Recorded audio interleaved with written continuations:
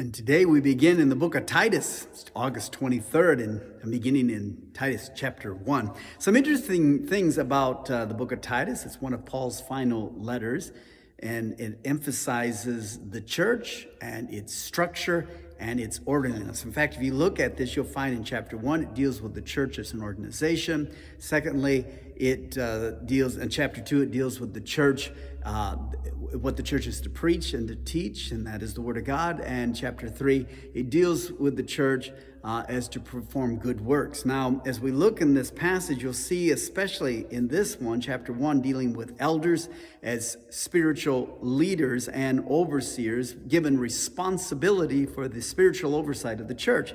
They represent the local church, they, are, they have spiritual oversight in that local assembly, and they are teachers of the Word of God. These are the things that Paul, that the, Paul is addressing in this passage of Scripture. Now, his opening indi- indicates his calling and his hope, which was customary to him. You see this in verse 1.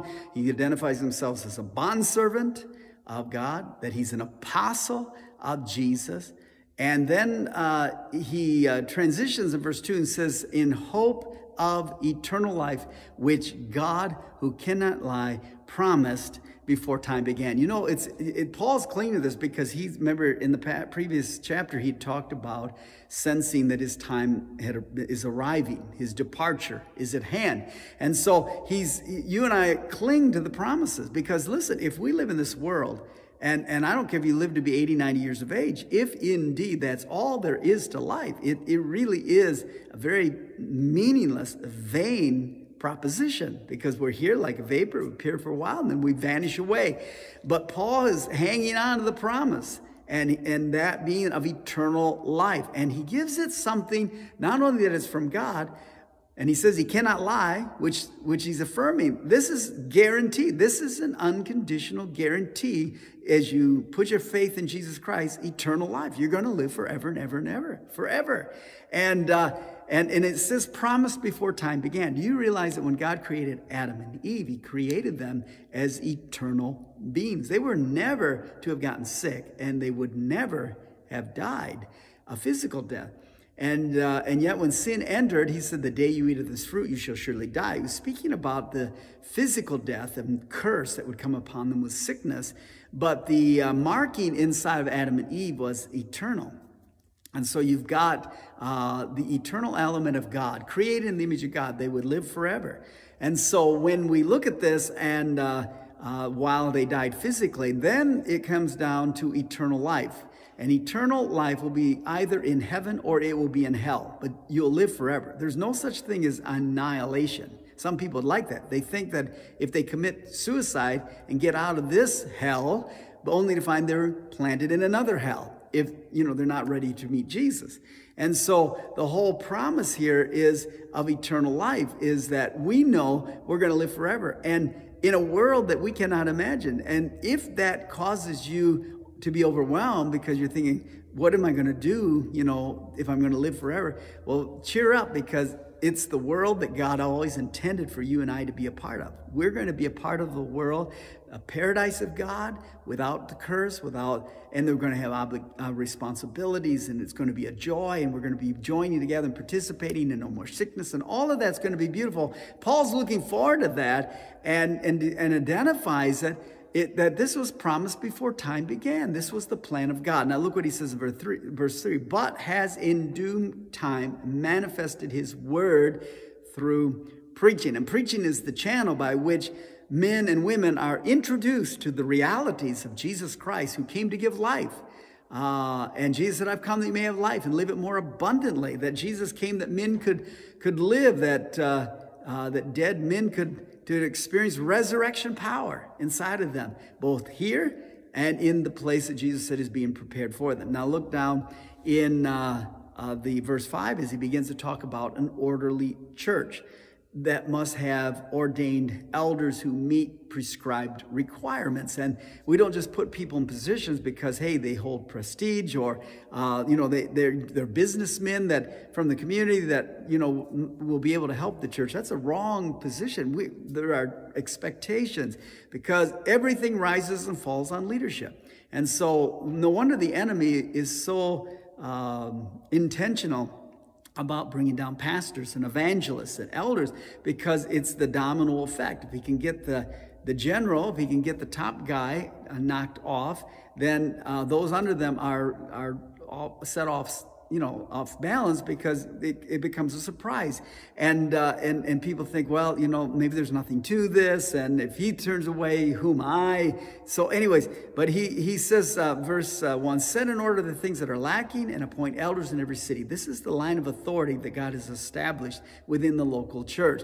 He's and and he gives a lot of the same criteria that we read about in uh, first uh, in, in timothy in which he says that you know blameless uh, the steward of God, not self willed, not given uh, to wine, not quick tempered, uh, not greedy for money, uh, hospitable, a lover of what is good, sober minded, just, holy, self controlled, holding fast the faithful word. And uh, uh, as he has been taught, that he may be able by sound doctrine both to exhort, convict those who are contradict. So you see the criteria and the qualifications of elders very steep. And we uh, do an injustice when we just place people carelessly into positions. It ought to be prayerfully, carefully evaluated, and each individual examined to determine that if they temperament and their spiritual qualifications meet that, because indeed it is pivotal in the life of the church because the end, there's going to be issues in the church. The enemy's going to be attacking. Things are going to be happening. And we've got to have men and women who know the heart of God. Now look down in verse 10. For there, he talks about bad reputations of the Cretans. Now look, he says there are many insubordinate, there are idle talkers, there are uh, deceivers. Uh, and then he said, whose mouths must be stopped. Uh, who subvert whole co- uh, households, that there, there's troublemakers. There, there are people here that are causing chaos and, and no doubt in the lives of maybe younger Christians or, or, or, or, or infant believers. And he says, teaching things, what it says, teaching things which they ought not for the sake of dishonest gain. So the motivation for some who are preachers or teachers is they're doing it for what's in it for them. And that may be financial, uh, but it could also be just position.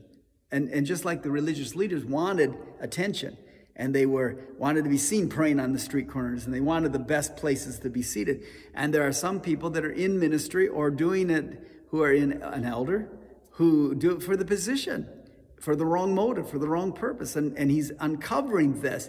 And then he says uh, they've got to have they got to be sound in faith but he says this in verse uh, 14 not giving heed to jewish fables and commandments of men who turn from the truth. They know we can't be swayed by every stupid thing that comes along. And now with the internet and, you know, with Google and, and YouTube, we, we, we have the availability of all kinds of crazy teachings, things that just simply are, are, are not sound doctrine.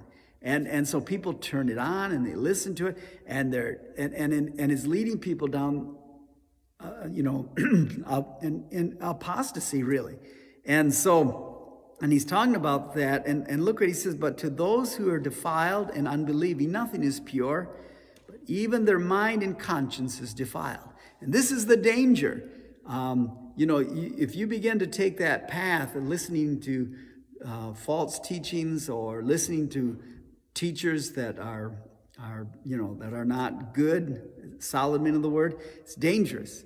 And it says this they profess to know God, but their works they didn't, with their works, they denied him. In other words, faith without works is dead. And, and we've got to become very discerning in this hour and be able to determine where people are at.